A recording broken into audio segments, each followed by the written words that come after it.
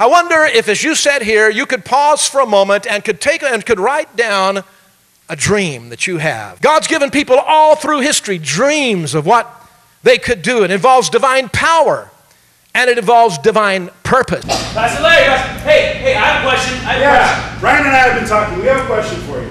This is what the church is really about, folks. Amen. In a dream I was having, me and your grandson Drew and Jordan, we were driving down the street, and then we see a 7 Eleven. So, like, okay, let's get some Slurpees. So we pull in, and then we got some Slurpees, but we also got scratchers. Not that we would ever gamble in real life, because obviously gambling is a huge sin, the biggest sin of all. And then we leave, we, you know, we won some money, we're planning on giving it to Global Harvest, and then we're driving down the street, and then all of a sudden we end up in Rancho Cucamonga. One of those Cucamonga dreamers. What does the dream mean? The dream becomes the seed that blooms in God's garden. Okay. A war that started in a beautiful garden.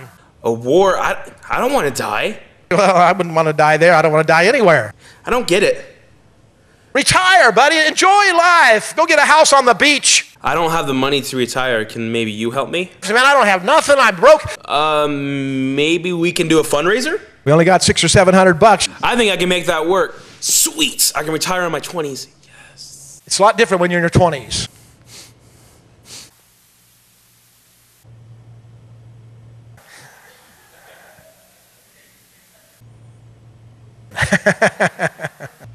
Pastor Larry, I have a question. Amen. Well, like, I feel like I have a lot of vision for like the organizations I'm involved in, my church. Um, you know, like I feel like I have like all this vision for everyone else, but I, I really don't know what like I want.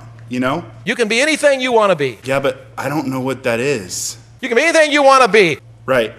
I get that, but I don't I don't know what I want to be. You can be anything you want to be. So let's say I wanted to be a cherry farmer and make um, pies for all the town folk to enjoy and bring joy to the world through cherry pies. Uh, got to get a book before the middle of this month. How do I even go about that? Don't worry about how. But, Don't worry about how. all right.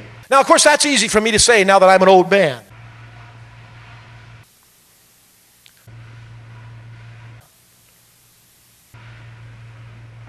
Pastor Larry, hey, I have another question. Do you think I can make a career out of male modeling? You're still short here. I'm still a growing boy. You're a little tiny skinny guy. Ain't going to happen. But first of all, thank you for that. I have been working out. But I thought you said I can do anything I want to do. Ask this young lady down here. She'll say you're an old man.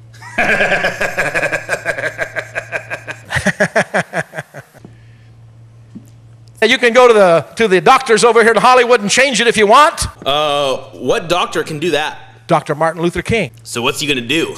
To extend to its fullness, to enlarge, to make fat. Can can you physically do that? It's in our DNA. Okay, Pastor Larry, what would you say some of your negatives would be in accomplishing your dreams? The worst words you can use, the most profane word you can use is Disneyland. Disneyland? But Mickey Mouse popped out of my mind on a drawing pad 20 years ago on a train ride. What did he say? Can't 99% of the church support 1%? I didn't know Mickey Mouse knew about church economics. Smartest man in the world, they say. Really?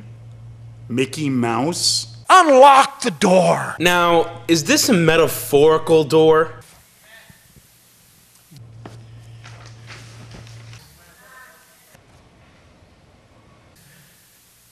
Pastor Larry, can you give us one example of someone who's like a modern daydreamer? The million dollar man. Former professional wrestler Ted DiBiase? The world is a different place because of that man's dream. Anything else you want to say?